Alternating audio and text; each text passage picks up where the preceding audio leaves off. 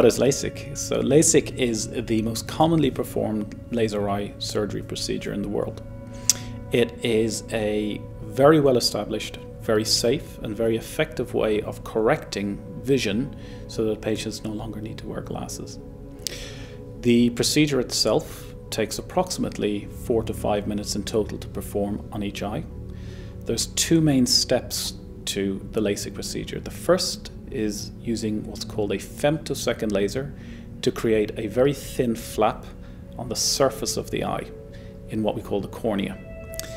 The second laser is used to sculpt the correct shape lens onto the surface of the cornea in order to correct the vision.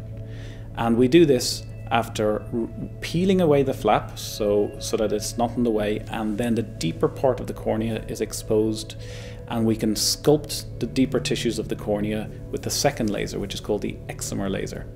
Once the excimer laser has done the appropriate amount of sculpting, sculpting we replace the thin flap that we created back on the surface of the eye and uh, give a gentle wash to ensure there's no particles in between the, the deeper layer and the, the flap.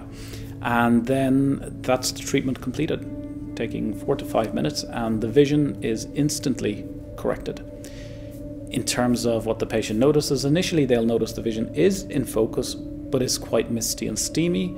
And over the subsequent 24 hours, the steaminess, the fogginess disappears, and the patient has immediately sharp vision.